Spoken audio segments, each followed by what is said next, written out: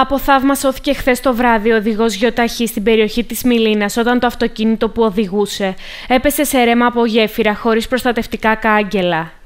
Τροχαίο ατύχημα, χωρίς ευτυχώς να τραυματιστεί κανείς, σημειώθηκε τις βραδινές ώρες στη Μιλίνα όταν γιοταχή αυτοκίνητο έπεσε σε ρέμα από γέφυρα, χωρίς προστατευτικά κάγκελα και στη Θέο. Ο παραλιακός δρόμος της Μιλίνας έκλεισε για το πανηγύρι της Αγίας Μαρίνας και η κυκλοφορία των οχημάτων εξετράπη σε παράλληλο δρόμο, με ανύπαρκτα όμως τα προστατευτικά κάγκελα σε γέφυρες ρέματος.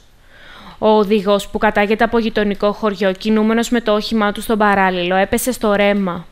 Το αυτοκίνητο καρφώθηκε κάθετα στο κομμάτι του δρόμου, προκαλώντας την ανησυχία των παρευρισκόμενων αλλά και διερχόμενων οδηγών, ενώ κάτοικοι ανέφεραν ότι το σημείο του δρόμου δεν είχε έντονο φωτισμό και έλειπε η προειδοποίηση. Στο σημείο έσπεσαν περαστικοί για την παροχή βοήθεια στον οδηγό, ο οποίος είναι καλά στην υγεία του.